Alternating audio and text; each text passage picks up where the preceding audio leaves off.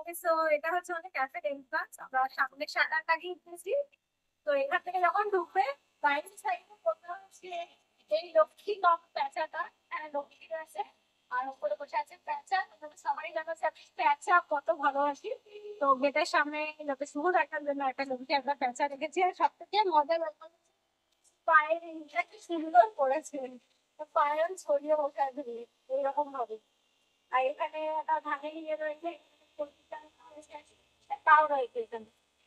এই পাশটা হচ্ছে আমাদের কিচেন কিচেনটা তোমাদেরকে এখন দেখাচ্ছিল আমার দেখতে চলে আসছে। মানে কমার্শিয়াল কিচেনের সমস্ত জিনিসপত্র। এখানে কিচেন পুরো পরে দেবো এখন পুরো বেস্টার রয়েছে অনেক কিচেনের যে ডোরটা আছে, সেই ডোরে একটা আমাদের বাউল করা হয়েছে। বাউলটা কত সুন্দর বাউল করেছে। আর নিচে তোমার ওই বৃষ্টি আমাকে জানো কলকাতা কোন জায়গা কমেন্ট অবশ্যই জানাও ওকে এই যে রয়েছে এই এখানে সমস্ত জিনিসপত্র লিখে দেওয়া হয়েছে। এরকম লাইন রয়েছে।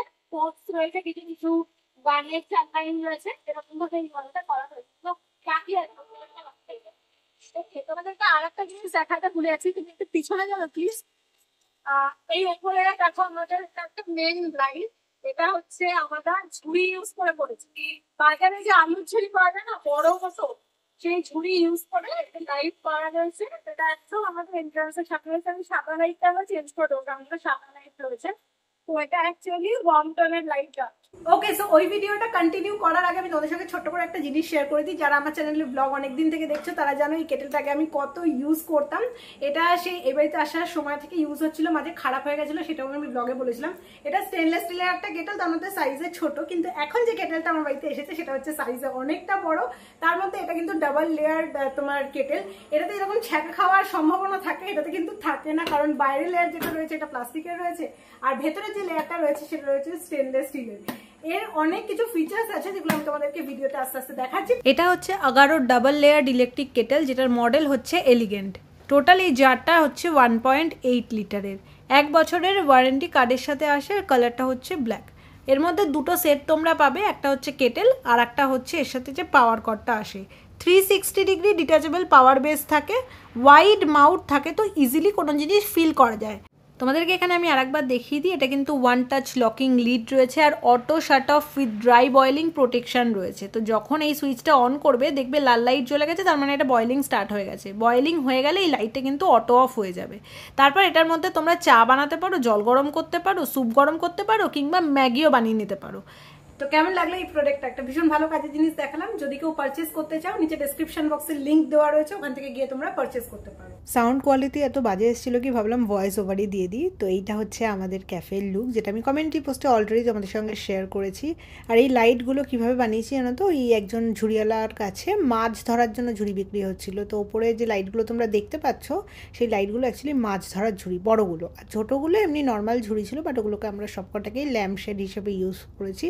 আর ওপর দিয়ে এরকম তার দিয়ে ঝুলিয়ে দিয়েছি। ভীষণ ড্রিমি সুন্দর লাগছে দেখতে। তোমরাও অনেকেই আমাকে কমেন্ট সেকশনে জানিয়েছিলে কমিউনিটি পোস্টে তো থ্যাংক ইউ সো মাচ এতটা ভালোবাসা দেওয়ার জন্য। আর এটা অনেকটা বড় জায়গা, এখানে এখনও কার্পেট পাতানো হবে প্ল্যান্টস লাগানো হবে, তো এটার লুকটা আর একটু খুলবে। আর ফ্যানগুলো লাগানো হয়ে গেছে, সামনের দিকটা আমরা কাচও দেবো, কারণ এখানটা একটুখানি নয়েজি আর সামনের দিকটা কি সাইডের দিকটা আমাদের রেন শেডও দেওয়া হবে, সেটা এখনও লাগানো হয়নি। এখানে দেখো একটা পেন্টিংস রয়েছে, অয়ন্তিকা, আমার বোনের বান্ধবী, ও খুব সুন্দর করেছিল দারুণ লেগেছে আমার। আর তার সাথে আমার ফেভারিট জায়গা তোমাদেরকে দেখাচ্ছি, যেটা তৈরি হতে চলেছে। তোমরা যে কোনো জায়গায় গিয়ে দেখবে। উইংসের মতো কিছু থাকে সেলফি তোলার জন্য দুই সাইড থেকে। তো আমি ওই উইংসের কনসেপ্টটাকে মাথায় রেখে আমি এখানে দৌড়, দুর্গা ঠাকুরের দশটা হাত আমি করার চেষ্টা করেছি। দশটা না মানে চারটে চারটে, আটটা, আর আমাদের নিজেদের দুটো হাত দশটা। কিন্তু এই জায়গাটাকে আবার আমাকে মুছে করতে হবে, কারণ যে পেন্টিং করছে সে আমার থেকে অনেক লম্বা। তো ওখানে দাঁড়িয়ে ছিল ওড়না, বডি সাইড থেকে বেরোচ্ছিলো। কিন্তু দেখো এই হাতগুলো আমার মাথার ওপর থেকে বেরোচ্ছে। তো এত সুন্দর করেছে। তো আমি ভাবলাম যে ঠিক আছে, মাথার উপর থেকেও খুব একটা খারাপ লাগছে না কিন্তু যদি বডি সাইড দিয়ে বেরোয় আরও বেশি ভালো লাগবে। তো এটা উইংসের কনসেপ্ট মাথায় রেখেই পুরোটা করেছি যে ডানা হয় না দেখতে। তো এটাকে পুরোটাকে আবার পেন্ট করা হবে ইয়েলো অ্যান্ড দেন ওটাকে একটু নিচে নামিয়ে আনা হবে। কারণ আমাদের হাইটে মোটামুটি যারা রয়েছে, তাদের মাথার উপর থেকেই যাবে হাতগুলো, আর যেটা দেখতে অতটাও ভালো লাগছে না, যদি বডি সাইড দিয়ে বেরোয়, তাহলে খুব সুন্দর লাগবে। আচ্ছা তো এই পাশে যে রুমটা রয়েছে, এটা আমাদের স্টোর রুম রয়েছে প্লাস ছোট্ট একটা অফিস রুম যেখানে আমি তো থাকব না বাট আমার পার্টনার এখানে বসে কাজ টাজ করবে। এখানে সমস্ত সুইচ বোর্ড ঠোল লাগানো রয়েছে, একটা ফ্যান রয়েছে, আর একটা টেবিল টেবিল থাকবে। এখানে ক্যামেরার সব সেট থাকবে, ক্যামেরা যেগুলো লাগানো হবে ডেস্কটপটা এইখানেই থাকবে। তো বাকি যে জায়গাটুকু রয়েছে, এখানে প্রচণ্ড লম্বা জায়গা রয়েছে, এখানে আমরা র্যাক রেখে এই জায়গাটাকে আমরা স্টক রাখার জন্য ইউজ করব। কিচেনটাতে স্টকটা না রেখে। ওকে আমি এবার এই দরজাটা তোমাদেরকে দেখাই, কারণ এর ওপরেও পেন্টিংস করা হয়েছে। ওপরে দেখো একটা বাঘের ফটো এঁকেছে ওখানে। আর নিচে এটা প্রজাপতি বিস্কুট না প্রজাপতি আমি জানি না। অয়ন্তিকা হচ্ছে ভীষণ ক্রিয়েটিভ ওকে আমি কিছু রেফারেন্স ফটো কিছু রেফারেন্স কোডস পাঠিয়েছিলাম। বাকি ও মোটামুটি নিজে খুঁজে গুগল টুগুল করে নিজের মতো করে করেছে। কারণ আমি বলছি, দেখ আমার দেখার তো অত সময় নেই। তুই যা করবি নিজের মতো করে করবি। আর ওর কাজ ভীষণ ভালো, ভীষণ ক্রিয়েটিভ তো যা করেছে আমার খুবই পছন্দ হয়েছে।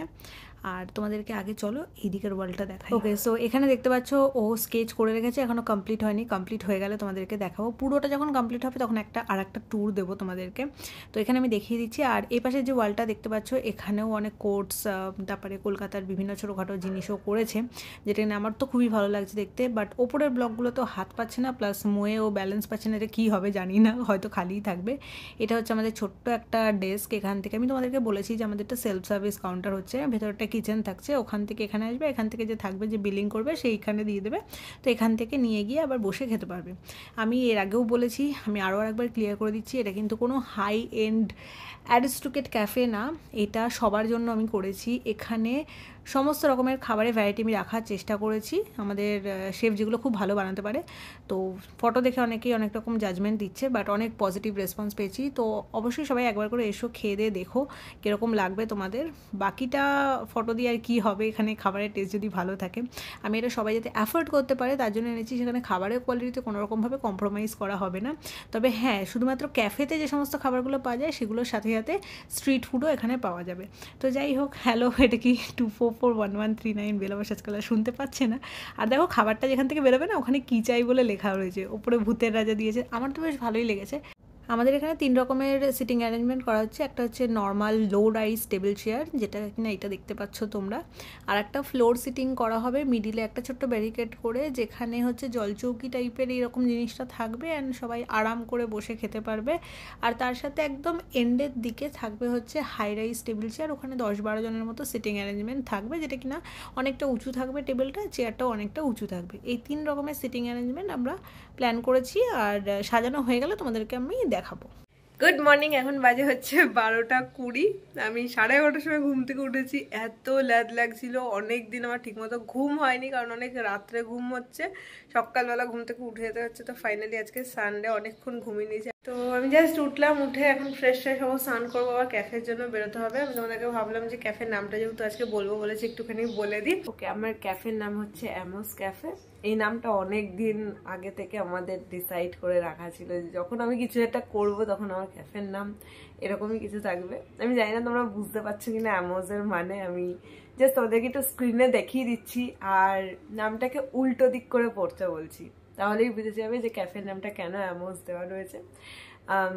তো যাই হোক, এইটাই ছিল হচ্ছে তোমাদের সাথে ডিসক্লোজ করার। এখন যদি হাবড়ার ওখান থেকে কেউ পাস করে, ওই স্টেশনের পাশ দিয়ে তো আমাদের ব্যানারটা চলে এসছে। আর নামটা কীরকম হয়েছে থটফুল কিনা জানিও, কারণ অন্য কোনো নাম আমার মাথায় আসলো না। আমার মনে হলো যে এটাই ভালো লাগছে। ইনিশিয়ালি যখন ওয়েবসাইট একটা স্টার্ট করব ভেবেছিলাম ক্যাফের প্ল্যানিংটা না করে তখন ওয়েবসাইটের নামটাও এই সেম রেখে অ্যামোস রেখে পাশে আরেকটা কিছু অ্যাড করে ভেবেছিলাম যে ওটা করব ওটা করব। তা যখন ওটা না হয়ে যখন দেখলাম যে ক্যাফে হচ্ছে, তো আমরা ওটাকে অ্যামোস ক্যাফে রেখে দিয়েছি। এটাই তোমাদের সাথে ডিসকাস করার ছিল। কেমন লাগল ক্যাফের অ্যাম্বিয়েন্স ক্যাফের যে পেন্টিংসগুলো প্লাস ক্যাফের যে নাম সেটা তোমরা আমাকে নিচে কমেন্ট সেকশনে জানাতে পারো। আমার খুব ভালো লাগবে। আর আজকে ভিডিওটা আমি এই পর্যন্ত রাখছি, কারণ আবার কালকে যে ব্লগটা তোমরা পাবে সেটা আমি এখন থেকে স্টার্ট করব ফ্রেশ ফ্রেশ হয়ে আমি এখন ক্যাফে ট্যাফেতে যাব।